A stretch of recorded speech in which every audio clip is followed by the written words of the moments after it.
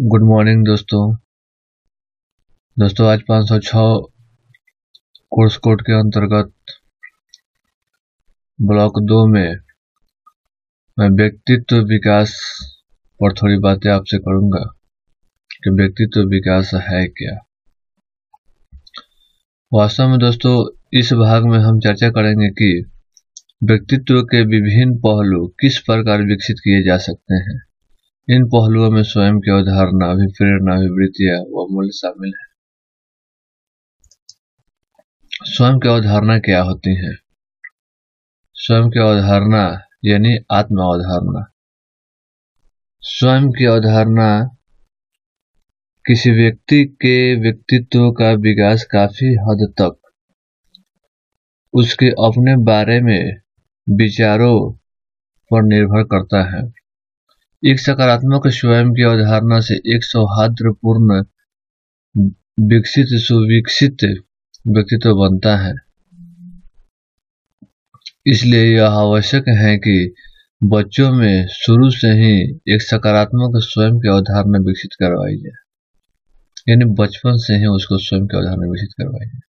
जो सामाजिक रूप से वांछनीय हो, बच्चों के अपने सॉरी अपने बारे में विचार करने को ही स्वयं की अवधारणा कहते हैं। यानी वे अपने बारे में सोचे, अपने बारे में विचार करें कि हम क्या हैं, क्या कर रहे हैं, क्या करना चाहिए। ये सारी चीज़ अगर बच्चे सोचते हैं, अपने बारे में तो उन्हें उसे हम स्वयं की अवधारणा कहते हैं। पर्यावरण के उस भाग में जिसमें वह रहता है, उसका उल्लेखनीय स्वयं कहलाता है। और बाकी का पर्यावरण जिसकी वह जानकारी रखता है और जिससे वह यानी बच्चा प्रतिक्रिया करता है, उल्लेखनीय पर्यावरण या महसूस किया जाने वाला पर्यावरण कहलाता है। स्वयं नहीं, स्वयं की अवधारणा वह है जो व्यक्तित्व अपने वास्तविक स्वयं के बारे में सोचता है। यह मैं है।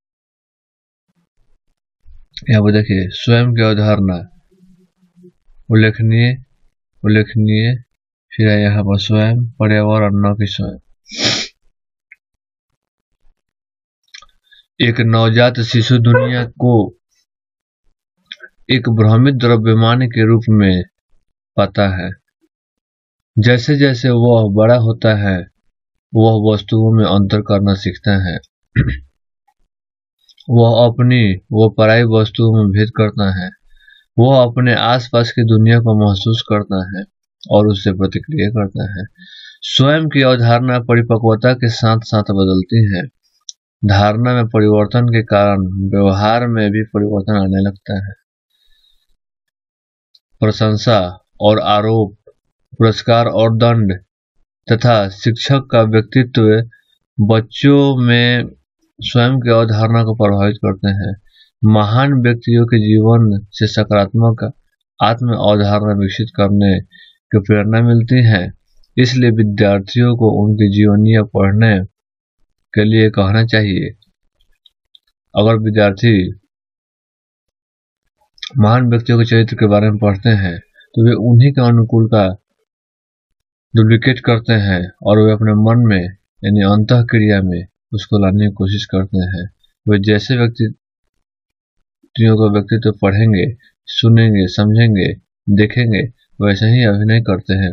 आप लोगों ने देखा होगा कि बच्चे टीवी का सीरियल देखकर भी उसी टाइप का नकल करते हैं। जैसे एक सीरियल पहले आता था, शक्तिमान तो बच्चे उस सीरियल को देखकर उसी तरीके का व्यवहार कर किया करते थे। और अब दूसरा सीरियल तो उस तरीके करते हैं अगर हमारे बच्चे महान व्यक्तियों के बारे में पढ़ें, जाने या उनको बताया जाए तो बच्चों को दिमाग में मन मस्तिष्क पे वही चरित्र, वही व्यक्तित्व प्रभाव डालता है, जिससे बच्चे उन्हीं का अनुकरण करने सीखते हैं। इसलिए विद्यार्थियों को उनके जीवनिया पढ़ने के लिए कहना चाहिए, शिक्षक को उन्हें यथार्थवादी लक्ष्यों को निर्धारित करने के लिए मार्गदर्शन करना चाहिए, जो उनकी पहुँच के अनुरूप है। अवास्तविक लक्ष्यों के निर्धारण से हताशा एवं निराशा विकसित होने की संभावना रहती है। यहाँ पर भी बता रहा है कि अवास्तविक लक्ष्यों के निर्धारण से जो चीज़ें मतलब वास्तविक नहीं है, रियल में नहीं है उससे बच्चों को अगर निर्धारित कर दीजिएगा तो बच्चे क्या हो जाएँगे? निराश हो जाएँगे। अभिप्रेरणा। अब यहाँ पर तो व्यक्तित्व के बारे में हो गया कि मतलब कि जैसा भी बच्चे स्वयं के धारणा अपने अंदर रखते हैं, अपने अंदर विकसित करते हैं, सुविकसित करते हैं, ठीक है, वे वे क्या सोचते हैं? ये चीज़ हो गया कि बच्चे क्या सोचते स्वयं क्या सोचते हैं।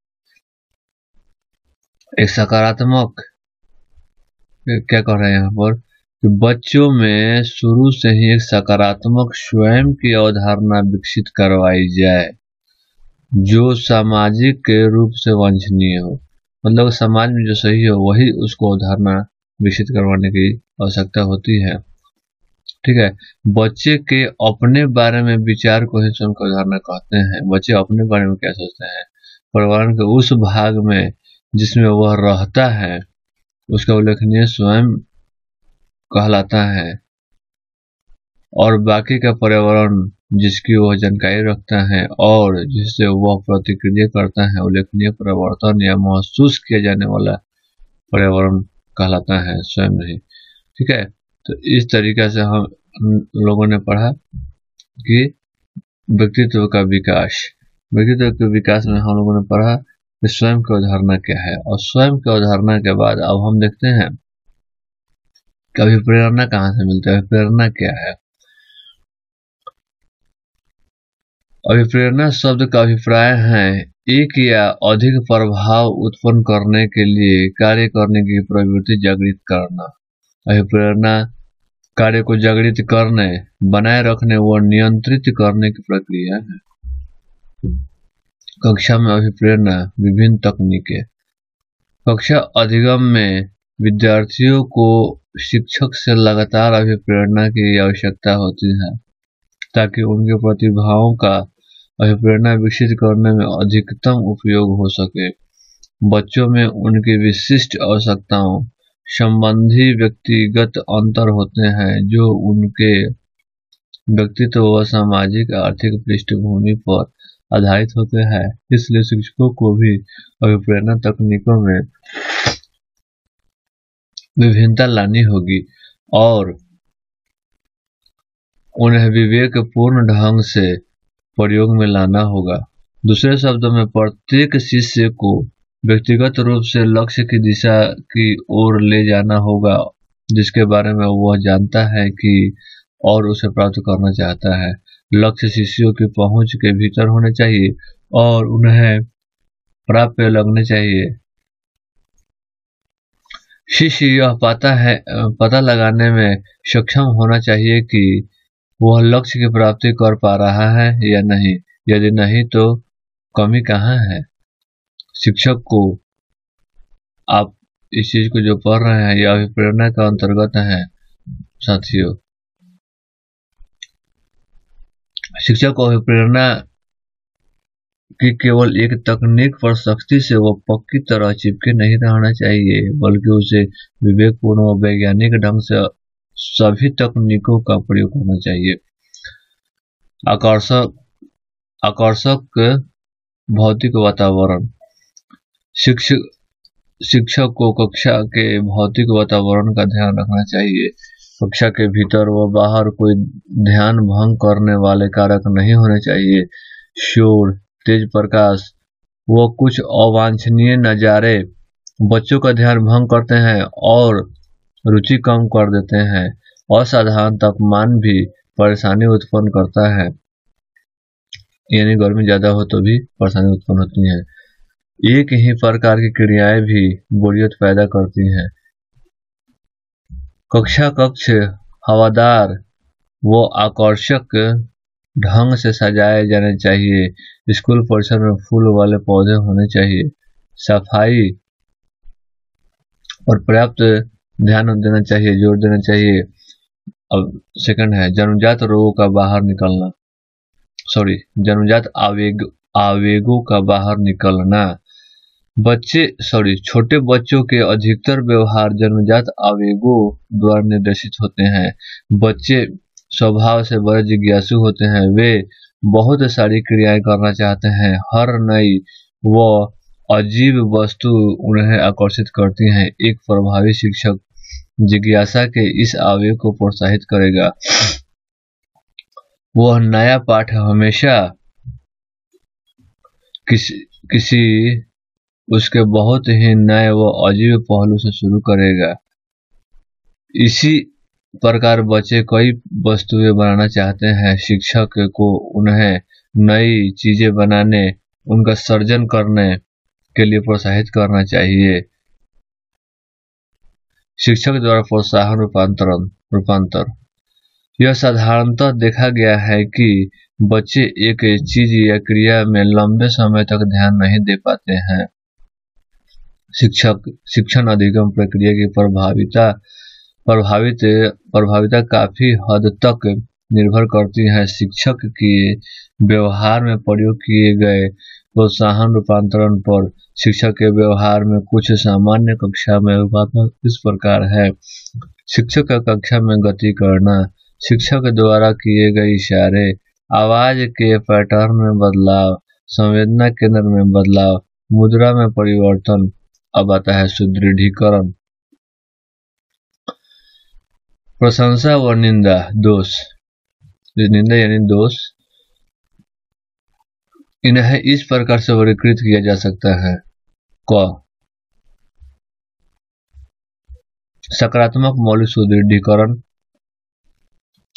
शिष्य के उत्तर देने के बाद शिक्षक मौखिक रूप से अच्छा बहुत अच्छा सही, ठीक है आदि कहकर खुशी का संकेत देता है।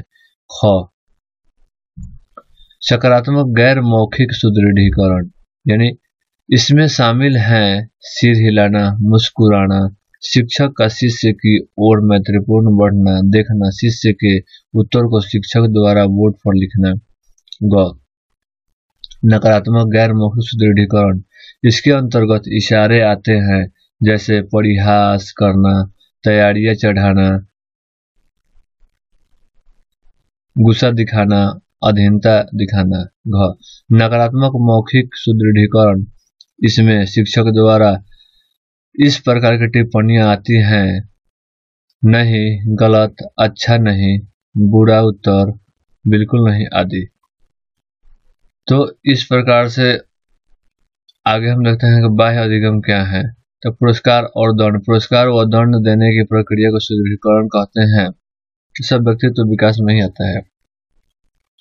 पुरस्कार चाहे है, सामग्री के रूप में हो या प्रतीकात्मक और वैज्ञानिक हो, बच्चे के सम्मान, आवश्यकताओं, सुरक्षा आदि की पूर्ति करता है, वो इन्हें बढ़ावा देता है और इस प्रकार प्रोत्साहन के रूप में कार्य करता है। गरीब बच्चों में सामग्री द्वारा पुरस्कार अधिक प्रभावी होता है, जबकि अमीर घर के बच्चों को प्रतीकात्मक रूप से खुशी मिलती है। खुशी के दौर, खुशी और दर्द व्यवहार के सबसे पुराने सिद्धांत के अनुसार व्यक्ति उन खुशी देने वाले अनुभव को ढूंढते हैं, जिनसे हमें संतुष्टि मिलती है और दर्द भरे अनुभवों से वे दूर भागते हैं। इस प्रकार सॉरी इस सिद्धांत का कक्षा में शिक्षण अधिगम प्रक्रिया पर पूरा प्रभाव पड़ता है पूरा प्रभाव है। शिक्षा को खुशी देने वाले व संतुष्ट प्रदान करने वाले सॉरी संतुष्टि प्रदान करने वाले अनुभवों का प्रयोग करना ताकि वे आगे सीखने के लिए प्रेरित रहे। सात, प्राप्त लक्ष्य। प्रत्येक पाठ में एक लक्ष्य होना चाहिए जहाँ हमें पहुँचना है, तभी विद्यार्थियों तथा विद्यार्थियों, विद्यार्थी उस विशेष दिशा में अपने प्रयासों को जारी रख सकते हैं। यह लक्ष्य विद्यार्थियों को स्पष्ट कर दिए जाने चाहिए। सफलता का अनुभव। सफलता का अनुभव एक विद्यार्थी को क्रियाकलाप जारी रखने के लिए प्रेरित कर सकता है। इसलिए शिक्षक को स्कूल के कार्य यानी पाठ्य संबंधी व सहपाठ्य क्रम संबंधी इस प्रकार बनाना चाहिए कि उनमें विभिन्नता हो और हर विद्यार्थी को अपने स्तर पर सफलता का अनुभव हो। उसे सफलता के अनुभव का या सुदृढ़ीकरण अधिगम के हर स्तर पर नियमित रूप से वो अक्सर मिलते रहने चाहिए, विशेषकर आरंभ में मुश्किल अवस्था में।